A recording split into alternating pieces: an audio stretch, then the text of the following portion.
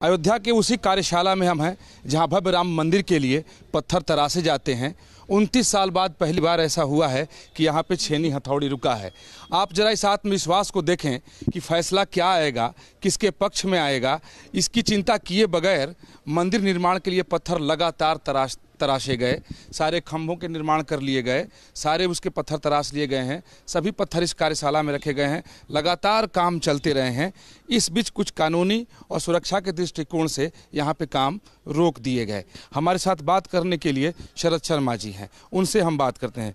शरद जी, यहाँ कभी काम बंद हुआ नहीं, ये आत्मविश्वास पहले से था क्या कि फैसला तो हमारे पक्ष में ही आएगा? नहीं, देखिए, ऐसा है कि जो भगवान राम लला के प्रति समर्पण है जिसका, वो स्वाभाविक पूरा देश जो है वो चाहता था कि हाँ भगवान ज़रूर यहाँ विराजमान होंगे। और आज जो है माननीय सर्वोच्च न्यायालय ने जिस प्रकार से यह निर्णय दिया है वह स्वागत योग्य है। शरद जी यहाँ हम देख रहे हैं कि चारों तरफ़ कार्यशाला में कि जिधर भी हम नज़र डाल रहे हैं चारों तरफ़ शिलाएँ रखी गई हैं जो बहुत हद तक तराश दी गई हैं यानी तैयार हो गया है।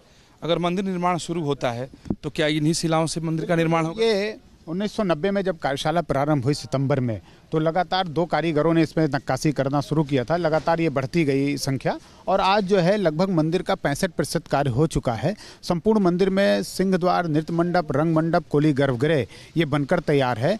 भूतल और प्रथम तल बनना है मंदिर का, संपूर्ण मंदिर का भूतल बन चुका है पूर्ण रूप से। 100 खम 106 खंभे नीचे के तरासे जा चुके हैं और साथ ही साथ लंब, जो ये इसकी लंबाई चौड़ाई लगभग दो फीट पाँच इंच है मंदिर की लंबाई। 140 फीट चौड़ाई 128 फीट धरातल से शिखर तक जो है ऊंचाई है। तो मैं समझता हूँ ये संपूर्ण कार्य जो है लगभग पूर्णता की ओर है और आने वाला दिन जो है वो रामलला का होगा, ऐसा हम सबको विश्वास है। जी, अब अब काम यहाँ फिर कब शुरू करेंगे आप लोग? अब न्यायालय का फैसला आ गया है तो सम्मान पूर्वक जो भी हमारे संत निर्णय लेंगे राम जन्मभूमि न्यास जिसके अंतर्गत ये कार्य हो रहा है, वो निर्णय उनके संत लेंगे और उनके पदाधिकारी लेंगे, फिर आगे कारीगरों की संख्या बढ़ाई जाएगी और कार्य को प्रगतिशील किया जाएगा। पैंसठ फ़ीसदी पत्थर तरासे जा चुके हैं, यानी मंदिर निर्माण का कार्य शुरू होता है तो उसमें कहीं कोई देरी नहीं होगी। सारे खंभे तैयार हैं, सारे उसके अंग तैयार हैं, यानी जैसे ही सरकार की तरफ़ से हरी झंडी मिलेगी, यानी न्यायालय का फैसला जैसे ही पहुंचेगा, न्यास अपना काम शुरू कर देगा। वीडियो मनोज के साथ विकास चंद्र कार्यशाला अयोध्या।